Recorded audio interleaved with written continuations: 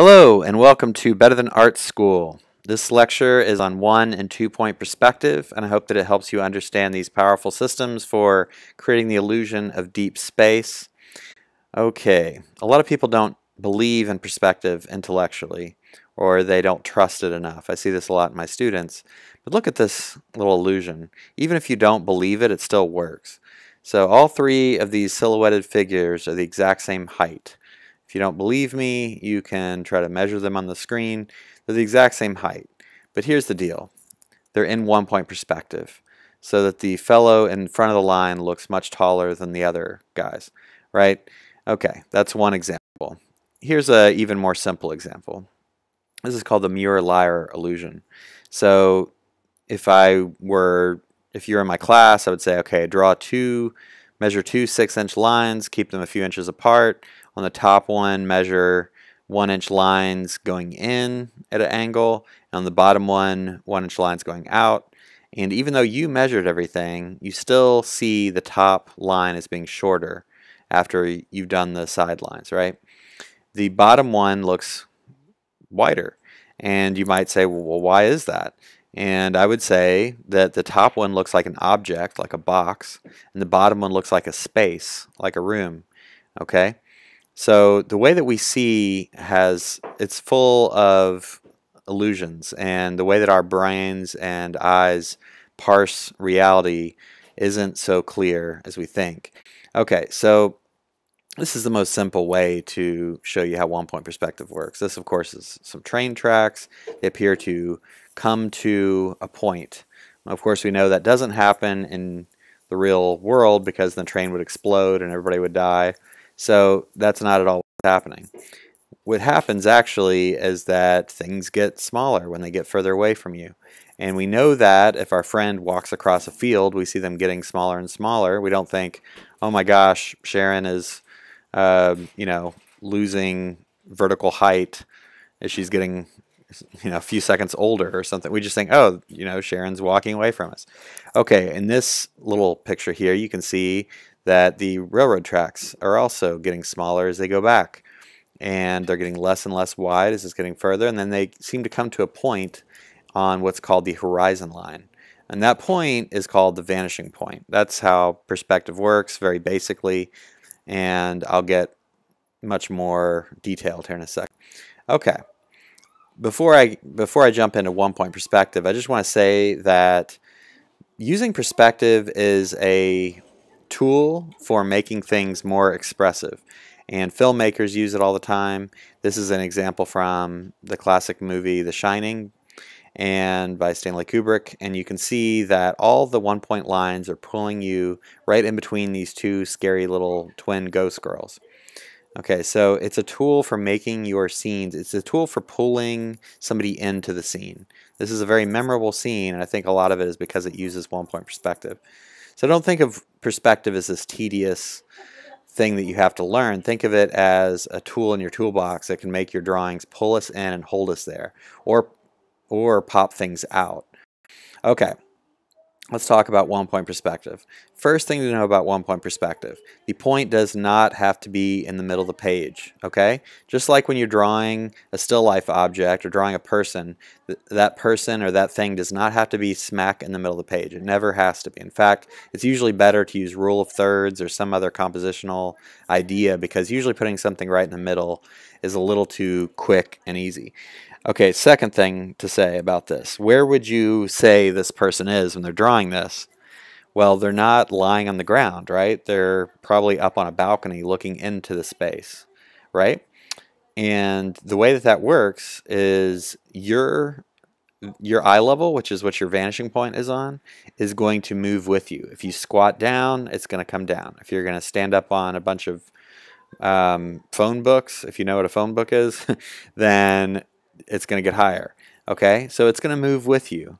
And the point is also going to move with you. So it's like a target. The target moves with you. If you go to the right side, then the point moves to the right. If you go to the left side, it moves to the left. Okay? And so this person's up high. If they're drawing this from down on the floor, the vanishing point would move down and everything would change. Okay? All right, this is a very simple one-point drawing from one of my students. And I remember asking her, can you see the top of the rail?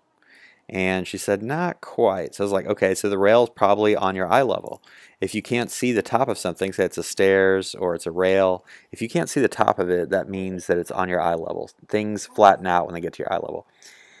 Uh, inversely, do you see this structure that sticks out from the pillar? That thing, you can see the bottom plane of it. And that means that your eye level is below that, right? Okay, so she's kind of in the middle of the hallway. She's maybe slightly to the left. And then her eye level is about in the middle because when you sit on a drawing horse in this case or a chair and say the hallway is eight feet tall, you're about halfway up the hallway or a little under halfway the hallway. This is a shaded drawing. It's slightly more complicated. The same, a similar space, the same school that the other one was from. And similarly, you cannot quite see on top of the rail, so she's sitting on a drawing horse looking down the hallway, so the eye level comes down. She's in the middle of the hallway, so everything kind of comes to the middle, but it's not quite in the middle because when you're sitting in this hallway, you're slightly lower than the halfway point. And the way that this drawing works is it's a shading kind of it bleeds out, right? It, it pulls you into the center, the focal point, and then it kind of bleeds out. When you're looking at this drawing and you're asking, okay, how do you do a drawing like this? Well, here's, here's what I would suggest, is you start out with a back wall. The back wall of this drawing does not require any perspective.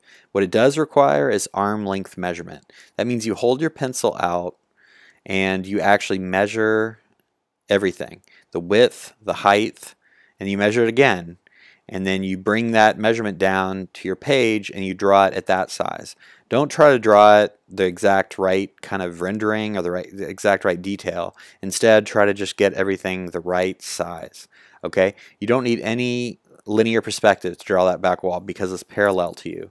What you need perspective for is for drawing the ceiling, for drawing the floor, for drawing the wall, for drawing the rail. That's what you need the perspective for. So you draw this back wall first. Now, its position on the page is going to be contingent on where you are. Are you in the middle of the hallway? Like I said, are you on the left side of the hallway? Well, then that whole little box that you see at the end of the hallway is going to move with you. Okay, it's just like how the moon follows you at night. If you've ever walked around and noticed the moon seems to be creepily following you everywhere. So you can kind of mix it up. You can draw, you know, dragons and creatures uh, on your drawing, but the but what happens is if you use a perspective system, and this is still one point perspective, it actually makes the space feel much, much larger and able to contain many more multitudes. And so this dragon seems like, you know, it, it's living in this realistic, plausible kind of space. Okay, so big takeaways here. One point perspective is is a system of mostly drawing things like hallways and a system where you're parallel to part of it, but then other parts of it are oblique to you or at an angle to you. And those parts that are oblique will all come to one single point. The top of this wall on our right, the bottom of the wall on our right, the top of this little uh, perch on our left, the bottom, all of it is going to one single point. Okay, that's how one point works. That's why it's called one point. You have to be ruthless and relentless with that one point. Don't let anything go to a separate point unless it's um, not parallel to those to the rest of the space. If it's built on right angles, it'll all go to the same point. Okay, so that's one point perspective. Now two point perspective. How does two point perspective work? Okay, this is a really simple drawing, uh, but it shows you how two-point perspective works. So unfortunately, when you're actually doing two-point perspective in the real world, when you're drawing from life, usually one of the two points is going to go off your page, and sometimes both do. But basically, here's how it works. So notice that they're both on your eye level again. Just like in one-point perspective, your eye level is your first the first thing you do is you sit down and you say, okay, am I looking down at the structure? Am I looking up at it? Am I looking across at it? And all those things will alter your eye level, right? And the other thing about two-point perspective is luckily in one and two-point perspective, all your vertical lines just stay vertical. Make sure they're parallel to the edges of your piece of paper. Make sure that they're as straight up and down as humanly possible so they don't get confused for converging lines. Okay, so now we're looking at this little house and we're not looking up at it so much as we're looking across at it, right? We're, we're pretty high. Maybe we're up on another house or something and we're looking down at it. So our eye level is fairly high and all of the things like the windows and the doorways and the roof, it all converges to one of those two vanishing points. There's one other diagonal on this drawing and it's the rooftop itself, but that's actually diagonal in nature. It's not diagonal because it's converging. It's not diagonal because it's at an oblique angle to us. Okay, and the way two point works is in one point basically you're looking down a hallway. That would be the easiest example because if you're looking down a hallway, what happens is the back part of the hallway will be parallel to you, and then the other walls will converge to one point that you're looking straight at. In two-point perspective, now you're actually parallel to a corner, okay? And it's the, the, the more parallel you are to the corner of the structure, the easier it'll be to find your point. Okay, so these are some student drawings. Notice that two-point perspective, if you're looking up at a structure, the lines seem to converge down. The main, the first lines you'll probably notice at the top of the building. Those lines converge down to your vanishing point. Then if you look down there by the trash can and by the bushes, those lines converge up towards the vanishing point, okay? So you might ask, well, how do I find my vanishing point? Well, first thing you do is you measure stuff out, okay? Just like in one point, uh, one point perspective drawing, you start from the wall that's uh, parallel to you, and two point perspective drawing, you measure out the corner of the building. Okay, then you measure out the far right end of the building. Then you measure out the far left end of the building. You get your measurements down first. You always do that first in perspective drawing because it won't lock in unless you do arm length measurement, unless you're drawing things at optical size. Everything will be slightly off if you don't do that. Okay, then then you start, you take your ruler or your pencil and you follow the angles until they intersect with your eye level. The way you find your eye level is just kind of asking yourself like where am i? You know? If you have a laser pointer it's a little easier but usually you can kind of figure out am i looking can i see the top of that trash can? Well then my eye level is just slightly above the trash can for instance. Is this and then you take some lines down intersecting uh, your eye level from the top you take some lines up that are intersecting lines from below and then as you crisscross these lines you'll get closer and closer to figuring out where your eye level is. So this is a pretty complex drawing, but it's actually made much simpler by using the two-point perspective system because you know all of these lines are going to, if they're not vertical, they're going to go to either the right point or the left point, full stop. They all go to one of those two points, okay? Just a few more examples so you kind of get the flavor of this. This is a, you know, these little structures sticking out the one, if you look right in the middle of the drawing, those two structures, the one on our right is going to converge to our left, and the one on the left is going to converge to the right. So that's that would that's what would happen if you're drawing the inside of a room, is that the right wall will converge left and the left wall will converge right. But if you're drawing the outside of a building, it's easy because the right side goes to your right and the left side goes to your left. If that's confusing, uh, rewind it and listen to that a few more times. It's simpler than it sounds, but I know when I say it, it sounds confusing. Okay, just a few more examples. So this one, you can actually see all the converging lines. And this, this drawing is kind of complicated. It's hard to figure out like where does each plane go? Does, which plane goes to the right, which plane goes to the left? And you have to kind of do some kind of investigative work and kind of take your pencil and figure out what the angle is. And if it's going down and to your right, well, shocker, it's going to go to your right point. If it's going down to the left or up into the left or up into the right, that's how you determine which way this thing's going. Okay. And of course, just like with one point, you can use the one or two point drawing system and then add color or add fantasy elements and then make the drawing more interesting from there and I hope you try all of this stuff. Try out one point perspective, try two point perspective.